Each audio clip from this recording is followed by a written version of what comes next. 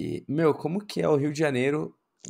É, é porque assim, eu não consigo, juro. Não, não entra muito para mim o Rio de Janeiro ser uma cidade universitária. Pelo menos na perspectiva ah. que eu tenho daqui. Porque, meu, interior de São Paulo, a, a vida universitária é tipo galera andando de samba canção, abadá, pijama, indo de cobertor pra aula. E, tipo, sei lá, você vai pra capital, né? Pra São Paulo, cidade. Uhum. Já muda bastante. E como que é, por exemplo, tá no Rio de Janeiro, que cê, ainda você tem praia, você tem um turismo absurdo, uhum. você tem gringo pra caramba às vezes. Então, como que é, tipo, essa distribuição? Como que é a vida universitária no Rio de Janeiro? É muito movimentada. Eu acho que essa é a primeira coisa. A gente tem uma troca muito grande. E, inclusive, isso que você falou que tem muito gringo, as universidades daqui têm muitos alunos estrangeiros. Porque, por exemplo, a UFRJ, eu acho isso uma coisa muito legal, ela tem convênio com um monte de universidades lá fora, dos Estados Unidos, da Europa. Então, de vez em quando, vem um estudante para cá, para poder aprender com a gente, passar uns seis meses aqui.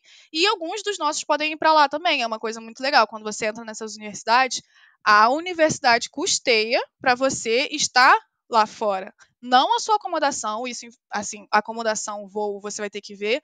Mas, por exemplo, uhum. faculdade, sei lá, de Nova York, lá nos Estados Unidos, não vai ser totalmente de graça. Tem o um custo para você estudar na, na, faculdade.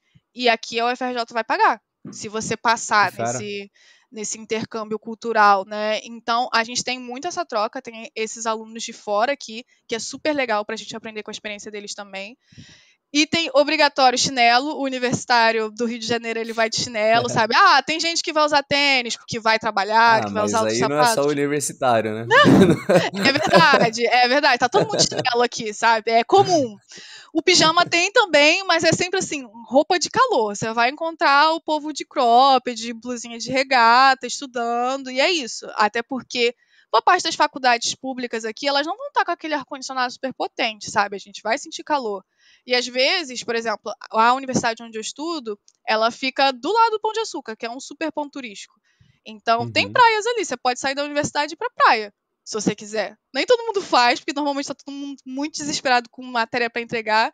Mas, assim, sabendo equilibrar as coisas, que também é muito importante você ter vida social, sua vida não é só trabalho, sua vida não é só faculdade. Cara, você uhum. super consegue, sabe? Você vai ali pra, pra praia, você vai tomar um chopp, vai fazer alguma outra coisa, e tem conversa, porque isso é uma coisa muito importante. Networking fortíssimo tem empresas enormes aqui no Rio de Janeiro, e às vezes você conversar com um amigo seu, alguém ali na praia. Cara, você tem uma troca de alguém que está estagiando em um lugar muito maneiro, de alguém que está em um outro curso que é muito interessante, que te acrescenta demais. Então, assim, muito movimentado, muita troca e calor, sabe? Todo mundo, assim, com roupa informal mesmo, trabalhando, estudando do jeito que dá. Bem adaptado.